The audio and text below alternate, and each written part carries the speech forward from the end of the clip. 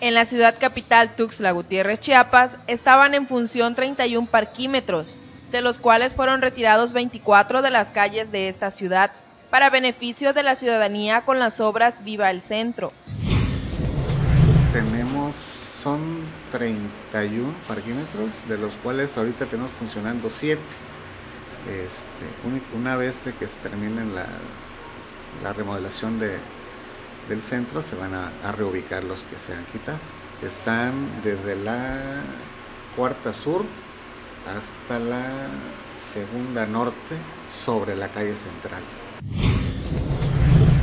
Aún no se sabe con certeza dónde se reubicarán los parquímetros, mismos que solo aseguran el espacio para los automóviles, más no la seguridad, y de no ser pagada la cuota será infraccionado el automovilista se debe de colocar el ticket que le arroja la máquina, se debe colocar al frente de, su coche, ahí del, vehículo, del cristal, para que este, los vigilantes estén pendientes de que ya pagaron su derecho de parquímetro.